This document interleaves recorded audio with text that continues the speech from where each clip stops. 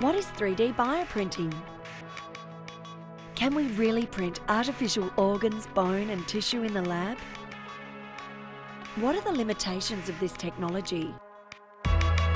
Revolutionary advances in 3D printing, along with the development of amazing biomaterials, which can be seamlessly integrated into the body, have opened a world of exciting possibilities. We are not far away from the time when every major hospital will have a 3D printing facility. This course tells the story of this revolution. The University of Wollongong is a leading university renowned for its innovative research. In this free online course, you will get a unique snapshot of the technological applications of 3D printing used within a medical context, including that of human organ replacement.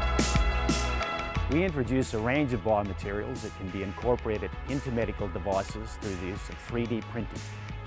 We will illustrate the impact that 3D printing already has on our ability to create customised medical devices, including the 3D printing of personalised titanium implants using selective laser melting, creation of customised maxillofacial implants, and the promise for lab-grown organs structured through the inkjet printing of living cells. This is an area at the innovative forefront of medical advancement with applications spanning into public health and well-being subject areas.